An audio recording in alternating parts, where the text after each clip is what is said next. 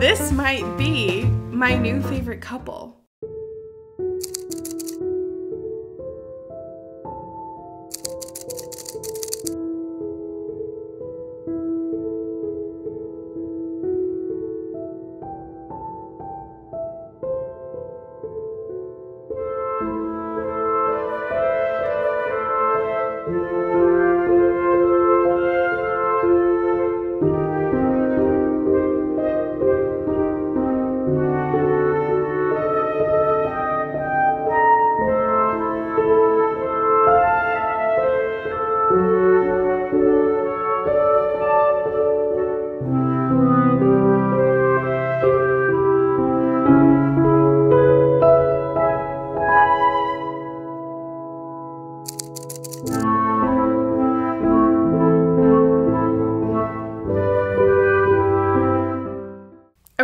Let's talk about the book I'm currently reading, One Dark Window by Rachel Gillig. This is my book club's pick for August, and I'm so happy because I'm really liking it so far. The magic system in this is so unique compared to really anything else I've read. There is a deck of cards with, I think, 12 different types of cards, and each grants its user a different ability. There have been generations of kings who are trying to collect all 12 types of card so that they can save the kingdom from being devoured by this magical mist.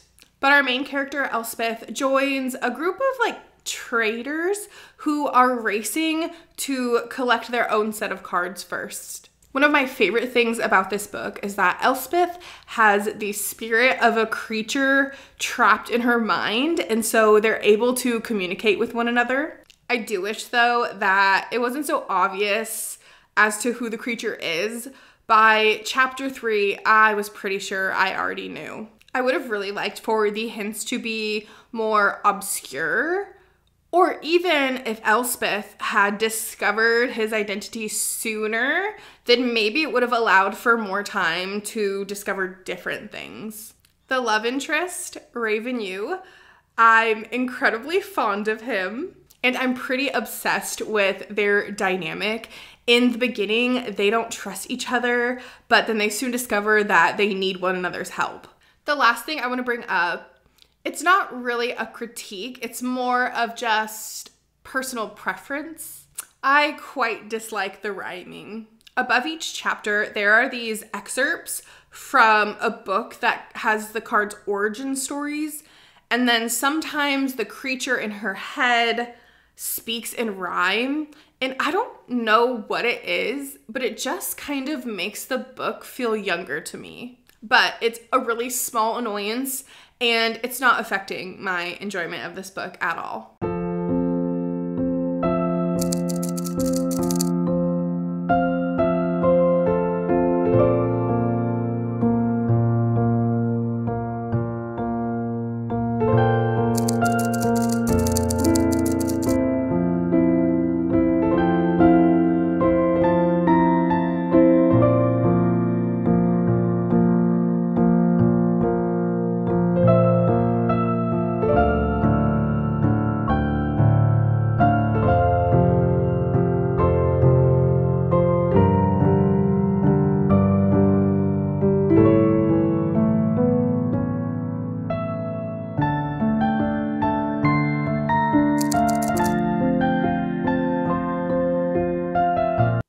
Finished One Dark Window ah! and I freaking loved it. Five stars, absolutely. Dare I say, ah! this might be my new favorite couple. But I'm gonna wait until I read the sequel to like declare that. The last half was so good. There were so many moments actually where like I was just sitting there like mouth agape, like eating it up. I would not have put the book down for anything. This is not a spoiler because it's in the synopsis, but the creature in Elspeth's head is slowly taking over, slowly gaining control. And so I was really curious how far into her condition we were going to get before the ending. Uh, but the ending was better than I could have hoped for. Something you should know about me though is I love to be tormented as a reader. I want the literal worst possible things to happen to my favorite characters. Honestly, I think this might be my favorite book of the year. Immediately after finishing, I wanted to flip back to the beginning because I wanted to reread it. And that has only ever happened to me one other time. God, I suck at talking about books that I love. I don't think I've said like anything valuable since I've been sitting here.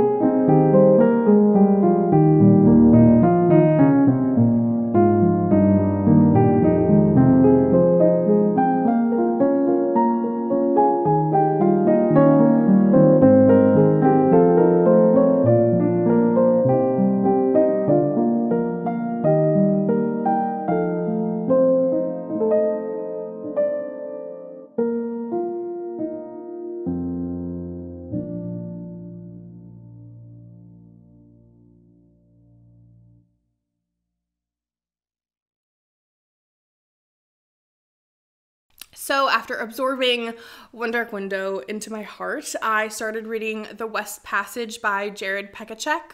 I shan't be giving you a synopsis, so just pause if you'd like to read it. The cover of the book is gorgeous. It's so fantastical, so intriguing, and unfortunately, it's the only thing that I liked about this book. I DNF'd this just after 50 pages, and it was a struggle to even get that far. It's the same reason that I DNF'd Fathomfolk. I just cannot read a book that I can't visualize. This was odd though because the descriptions for smaller things, so for example, like a room, were perfectly fine.